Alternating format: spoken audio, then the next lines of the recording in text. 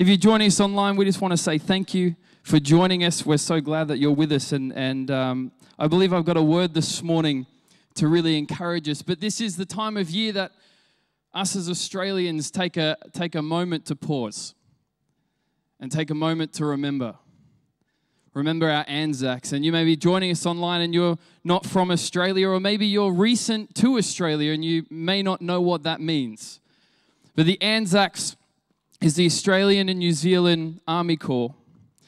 And April 25th, we pause and we celebrate Anzac Day, which marks the landing in Gallipoli in 1915. And I'm really not sure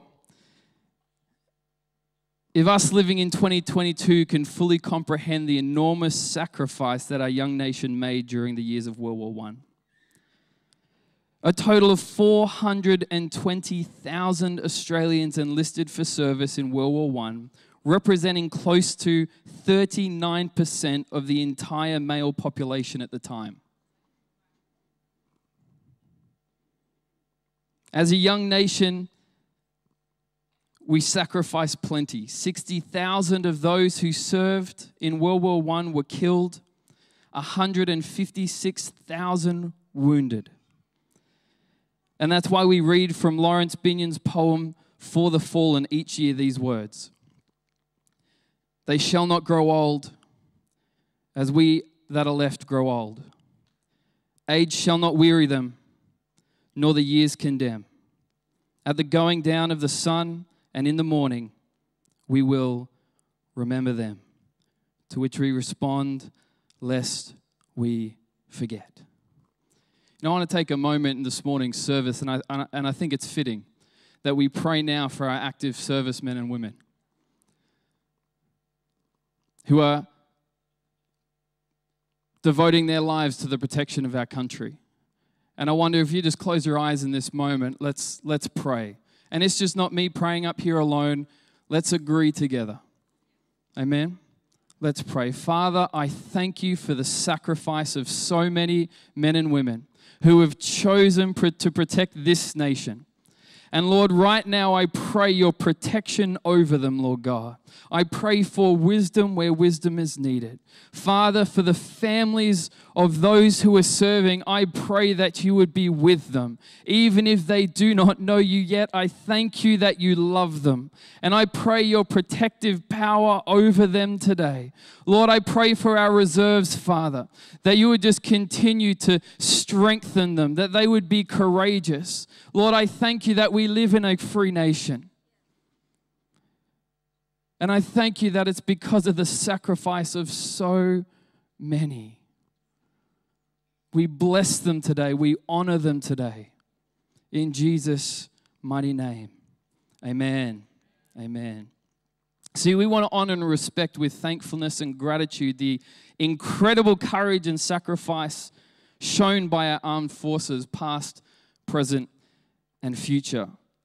And we do that earnestly but in this room, we can say with confidence that our trust is not in our armed services, our armed forces. Our trust is in the Lord. As the psalmist writes in chapter, 12, uh, chapter 20, verse 7 Some trust in chariots and some in horses, but we trust in the name of the Lord our God. We trust in the name of the Lord our God. If you're taking notes this morning, I want to preach on an important topic and fitting for this weekend. And I've titled this message, Remember to Remember. Because as we remember the sacrifice of our Anzacs, so too are we called to remember the works of our God. Because remembrance is a God idea, it is a biblical idea.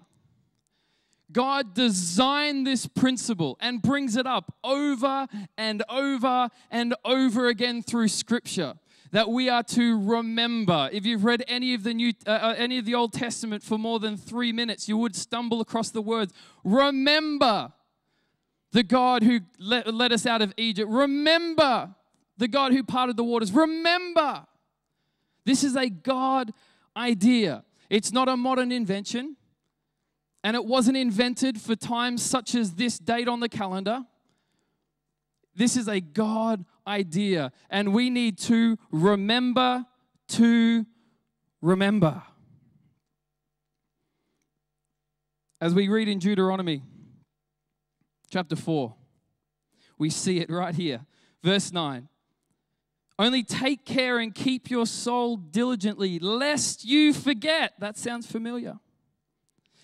The things that your eyes have seen, unless they depart from your heart all the days of your life. Make them known to your children and your children's children. How on the day that you stood before the Lord your God at Horeb, the Lord said to me, Gather the people to me that I may let them hear my words so that they may learn to fear me all the days that they live on the earth, that they may teach their children so.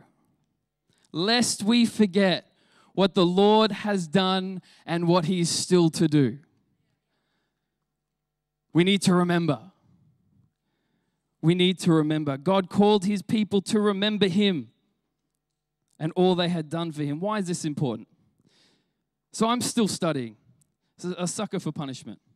And part of my research is actually about time and how our understanding of the past, present, and future interact with and affect different parts of our thinking, different parts of our life.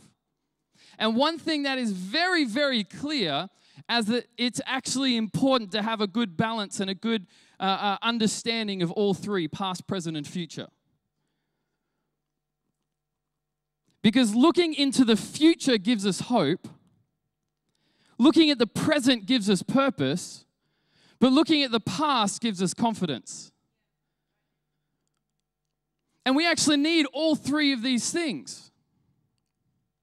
Because if we neglect things, things get thrown a little bit out of balance because we need the reference of back then to now so we can see how God's moved in our lives to get us from there to here. And it's something that's way harder to do when we're so absorbed in the present. Let me tell you, the enemy loves to narrow your focus to the right now because it robs us of hope and it robs us of confidence. Because when we're looking at the right now, everything's 2D. There's no perspective. It's the right now. It's flat. This is all that I can see. And if things are bad, then all things are bad for all time because we're not looking back, we're not for looking forward, we're looking at the right now. Everything is bad. We have no perspective. The enemy loves to rob us of perspective. Why? Because if, if he can take away our hope, if he can take away our confidence, we're not left with a whole lot. We're weakened, we're lost, we're immobile, we're frozen in place. We're at the mercy of our circumstances. And I read scripture and I know that God has not called us to be mercy, uh, to, uh, uh, left to the mercy of our circumstances. He's called you for more. But to seize the more, we need to be confident and understand our hope to then place where we are right now. Because when we look at the right now, we say things like, God, why am I here? What are you doing? Where are you? Nothing makes sense. Am I doing enough? Am I doing the right thing? Is it all worth it?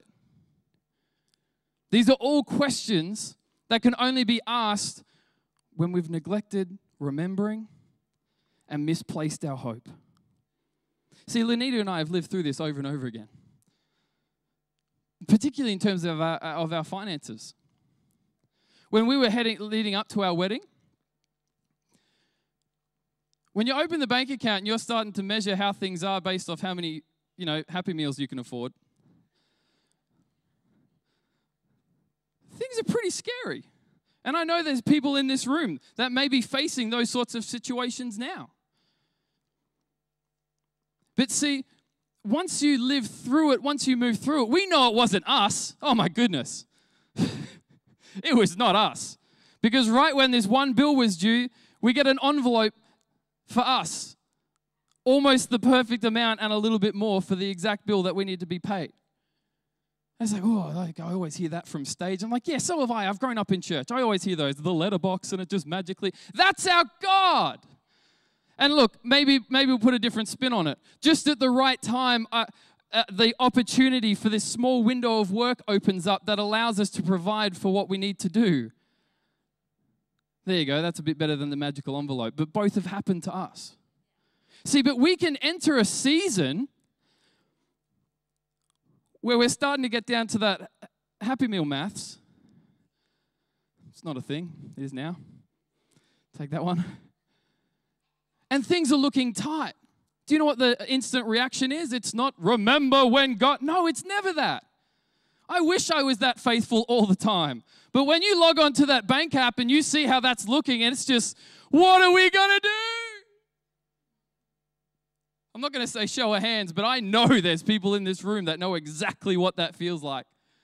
But let me tell you, after that, take a step back and say, That's my present, but look where God has brought me from. Look where He has brought me from.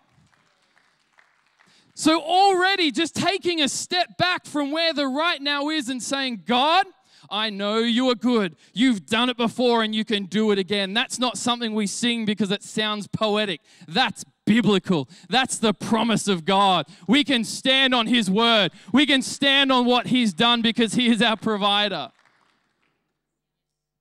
Maybe for you it's health, maybe for you it's relationships, in all of these things. Let me tell you, when we remember what God has done, it starts to put things into perspective. And it's when we have that perspective, we can find confidence in the right now because it's not based on, circumstance, it's not based on the right now, it's based on what He has done.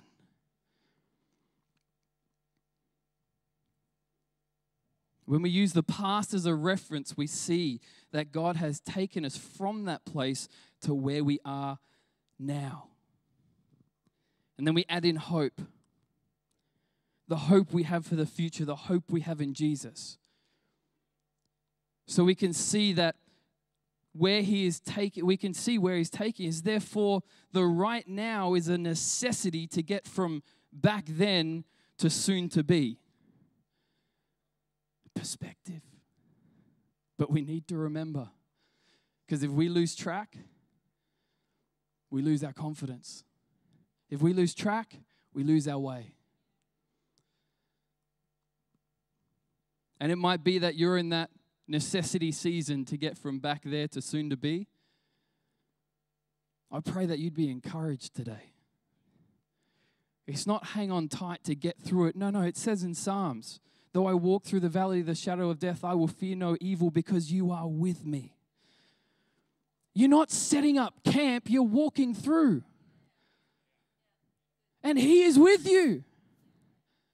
What more do we need if He is with us? That's why the writer of Hebrews says this Hebrews 13, verse 5. Don't love money, be satisfied with what you have. For God has said, I will never fail you, I will never abandon you. So we can say with what? confidence. The Lord is my helper, so I have uh, uh, uh, so I will have no fear. What can mere people do to me? Remember your leaders who taught you the word of God. Think of all the good that has come from their lives and follow the example of their faith. Jesus Christ was the same yesterday, today, and tomorrow. He's the same. He's the same provider. He's the same healer. He is the same comforter. He is the same one that walked with me then and will continue to walk through the valley of the shadow of death. He is the same. The God we have seen move is moving now and will continue to move tomorrow. Amen. I love it. God called the people to remember him and all that he had done for them. And we see this repeated over and over and over again. Exodus 13:3.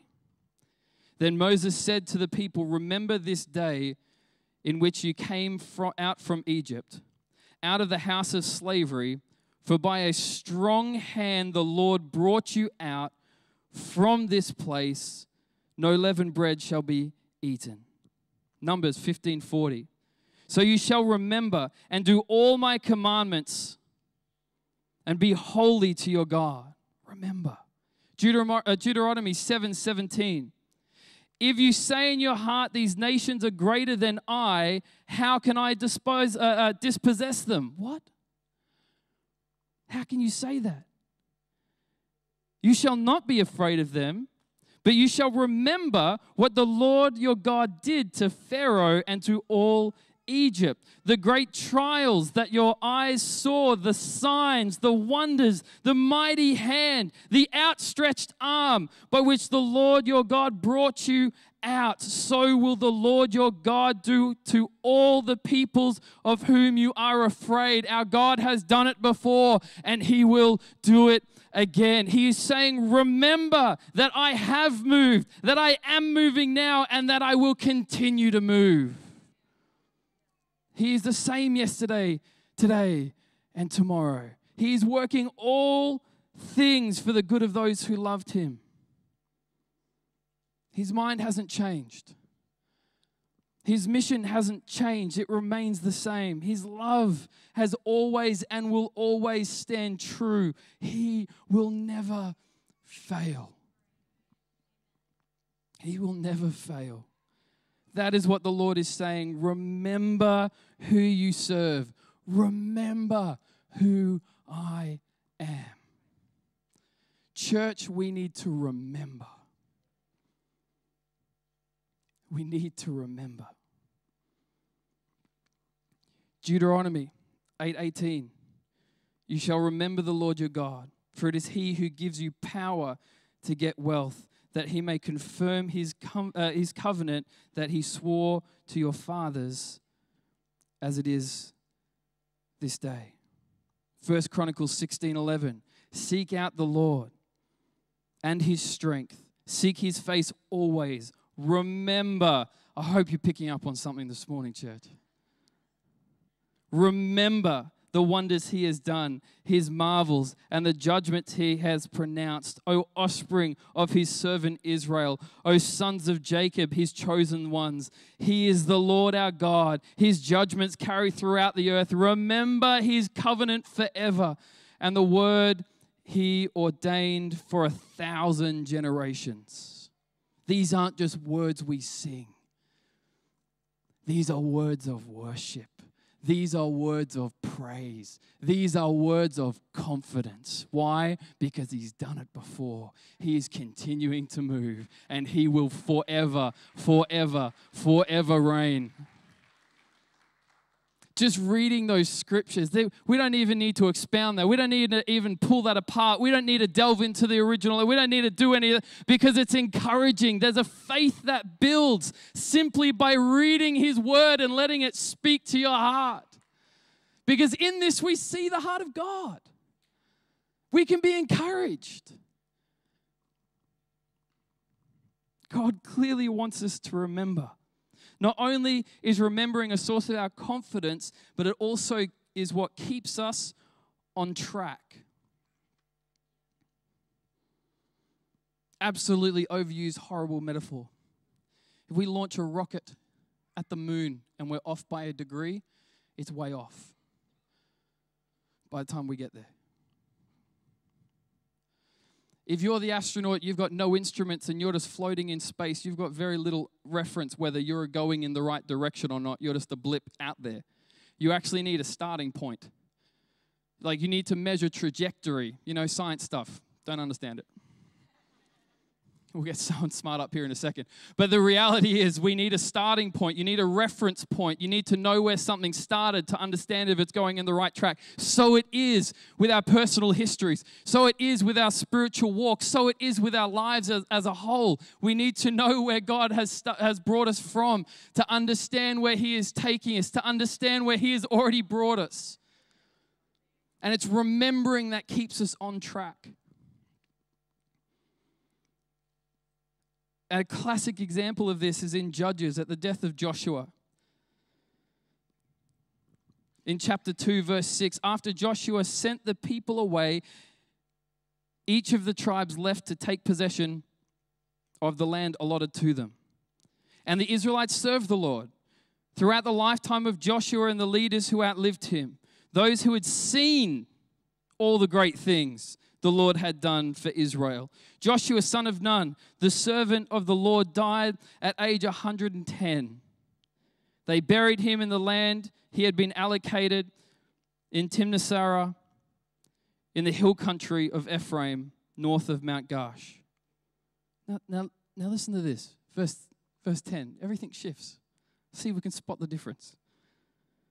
After that generation died, another generation grew up who did not acknowledge the Lord or remember the mighty things he had done for Israel.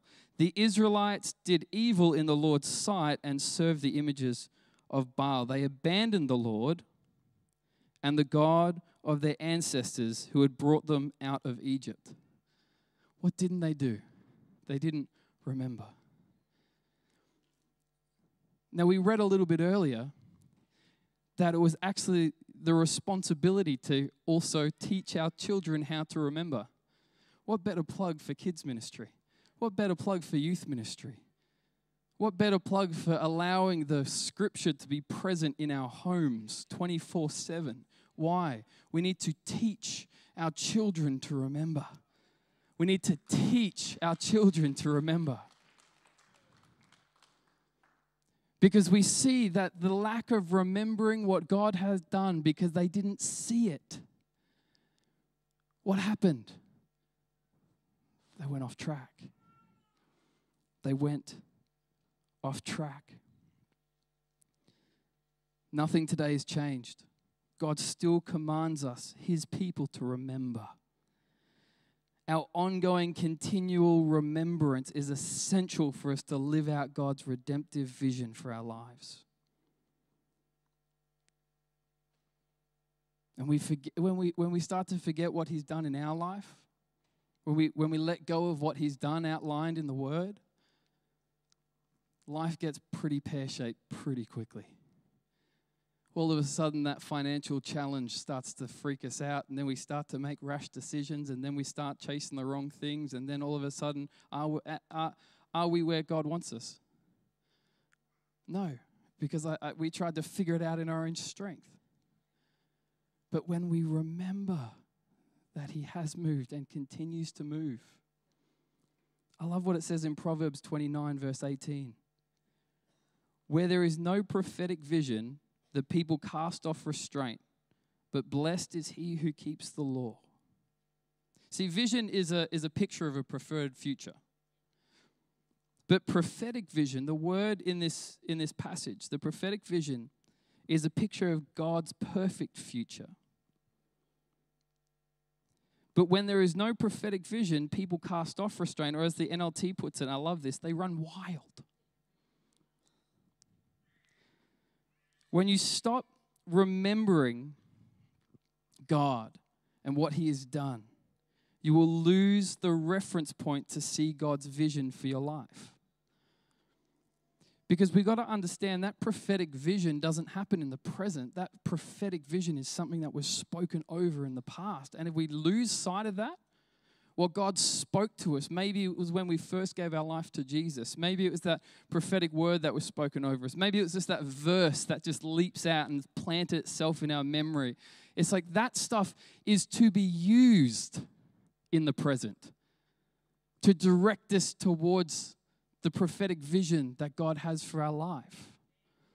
It's something that lives in the past. And if we lose that, I've got notebooks, I've got recordings of people speaking over me, or things that I've written down, or dreams that I had. And I, I found like a, a, dreams kind of buckety kind of list, more of a dreams list from like 2009, uh, uh, uh, uh maybe 2010. And I was reading it, and I found myself, it was actually amazing. Tick, tick, tick. I've written that list one night, not really thinking about a whole lot, and obviously probably procrastinating an assignment of some description. And I wrote this list, and I hadn't looked at it literally since the day I wrote it. And then I flick forward, and what do I see? God, you are good. God, you are good. God, you are good. God, you are good. Even now, I'm feeling, I'm feeling my faith rise. Why? Because I'm remembering what He's done. I'm remembering what He's done.